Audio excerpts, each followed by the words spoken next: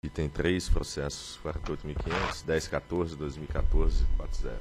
Solicitação de excepcionalidade de instalação do sistema de medição de faturamento das usinas termoelétricas Colombo, Ariranha, Colombo Ariranha 2, relacionada ao submódulo 12.6 dos procedimentos de rede do ANS. Diretor relator, doutor José Giovanni. A usina Colombo Açúcar e Álcool foi autorizada a estabelecer-se como produtor independente para exploração da UTE Colombo Ariranha, com 25,5 MW de capacidade instalada. A primeira unidade geradora de 2,5 MW está em operação desde maio de 85. A segunda, de 8 MW, desde junho de 93. E a terceira, de 15 MW, em operação desde maio de 2000. E o combustível utilizado é o bagaço de cana-de-açúcar. O mesmo ato que autorizou a instalação de uma quarta máquina de 40 megawatts, que entrou em operação, é, em, entrou em operação em 25 de 10 de 2004. E a usina Colombo, é, da UTE Colombo Ariranha, foi autorizada a ampliar a capacidade da UTE Colombo Ariranha de 65,5 megawatts para 105,5 megawatts, com a implantação da quinta unidade, bem como alterar o sistema de transmissão de interesse restrito e essa quinta unidade entrou em operação comercial em agosto de 11. Em junho de 12, a capacidade instalada da UTE Colombo Ariranha foi alterada de 105.5 MW para 103 MW, com registro de um gerador de contingência com potência de 350 kW. Em 14 de maio, a potência instalada da UTE Colombo Ariranha foi alterada novamente de 103 para 61. E na mesma data, a usina Colombo foi, foi autorizada a explorar o TE Colombo Ariranha 2, com 40 megawatts de capacidade instalada sob regime de PI, bem como suas instalações de transmissão de interesse restrito. Em agosto de 13, a requerente solicitou a concordância para manter o, o sistema de manutenção de medição e faturamento destinado a atender as usinas o TE Colombo Ariranha e o TE Colombo Ariranha 2, no ponto de entrega existente, atualmente com na SE de 138 KV da própria usina Colombo. E a SEM analisou o play da usina Colombo por meio da nota técnica 61 de 14. E no sorteio público dia 20, esse processo vinha, veio a minha relatoria, é o relatório. Procuradoria.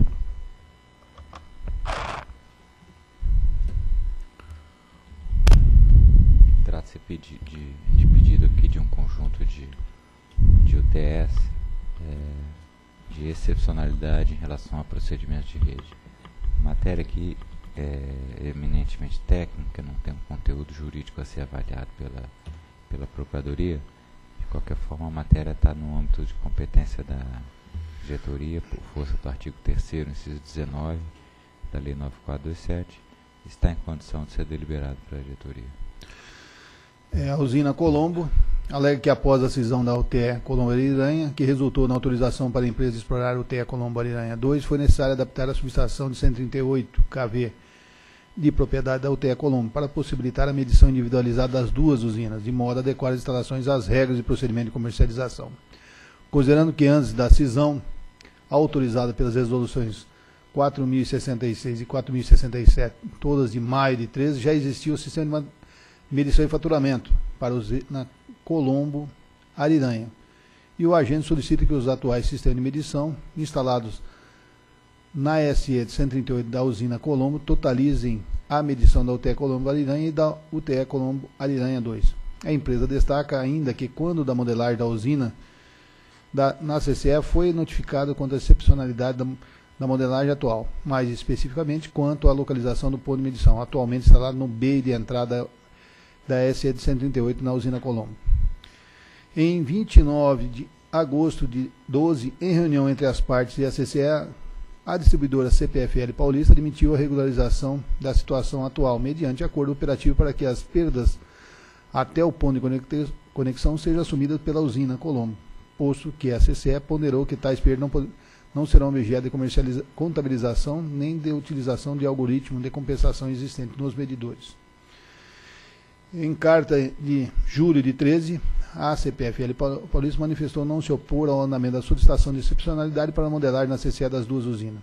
A questão das perdas ocorre porque a usina Colombo possui um trecho de linha de 138 de interesse restrito, de 4,6 km de circuito simples que liga a SS 138 da usina Colombo Ariranha até o ponto de conexão da LT 138 KV Pirangi Santander, Santa Adélia da CPFL Paulista.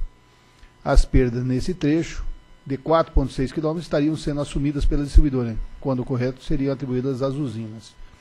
E a CCE esclareceu que a permanência do ponto de entrega nas condições atuais deve ser formalizada e avalizada pela ANEL e ter o devido consentimento da distribuidora, no caso a CPFL Paulista. E na nota técnica no 61, a SEM destaca que, conforme o item 5.9.3 do submodo 12.6 dos procedimentos de rede do NS, é necessária a instalação de sistema de medição de conexão com a rede básica ou com a distribuidora local no ponto de contribuição de cada usina. Nas suas considerações, a SEM faz alusão à situação similar das UTS Alta Mogiana, de 56 MW, e Mogiana Bioenergia, de 4 MW, que resultou na cisão da UTE Alta Mogiana, a qual foi aceita até que se publique regulamento para tratar tais casos. A propósito, o regulamento em questão foi objeto da consulta pública números 16 e 13, com o intuito de se obter subsídio para o ajuste e aperfeiçoamento dos requisitos atinentes ao sistema de medição e faturamento no âmbito da distribuição e que poderá trazer novas providências após publicação da norma.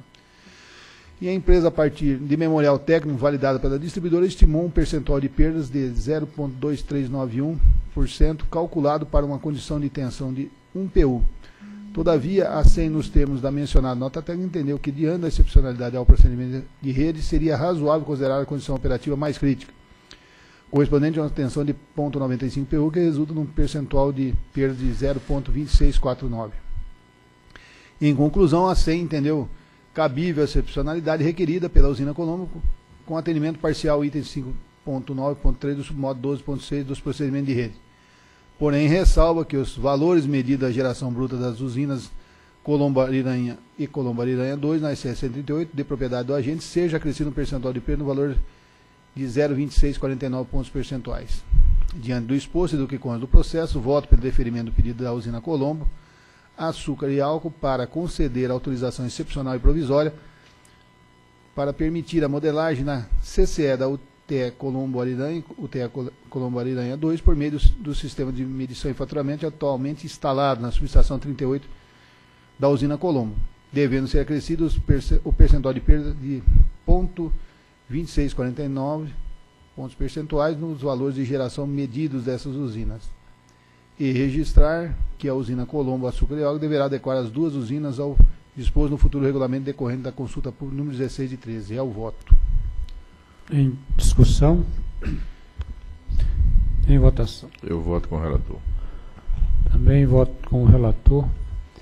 Proclamo que a diretoria decidiu pelo ferimento do pedido de usina Colombo S.A. Açúcar e Álcool para conceder autorização excepcional e provisória para permitir a modelagem da na CCE, da UTE Colombo Ariranha e da UTE Colombo Ariranha 2, por meio de sistema de medição de faturamento, atualmente instalados na subestação 138 kV da usina Colombo, açúcar e álcool, devendo ser acrescido percentual de perda de 0,2649% aos valores de geração medidos para essas usinas e também registrar que a usina Colombo deverá adequar as duas usinas ao disposto no futuro regulamento decorrente da consulta pública 016-2013.